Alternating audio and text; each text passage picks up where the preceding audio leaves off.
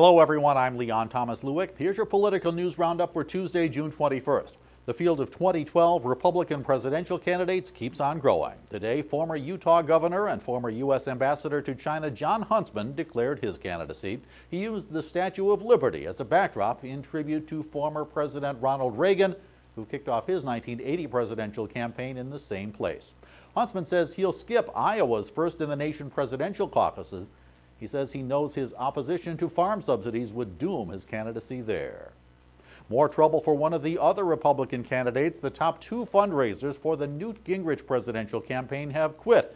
Fundraising director Jody Thomas and fundraising consultant Mary Heitman both resigned.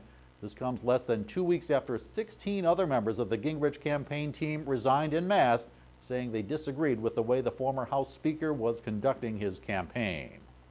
Overseas, the eyes of the financial world are on Greece. That's where a confidence vote by Parliament on budget plans submitted by Prime Minister George Papandreou takes place at midnight Athens time.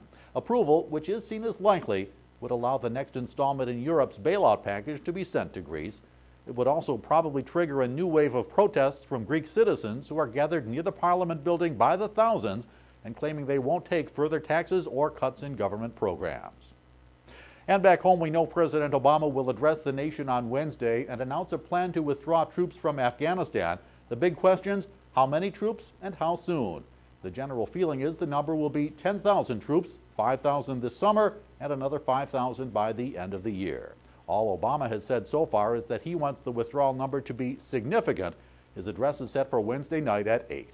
That's your political roundup for Tuesday, June 21st. I'm Leon Thomas Lewick.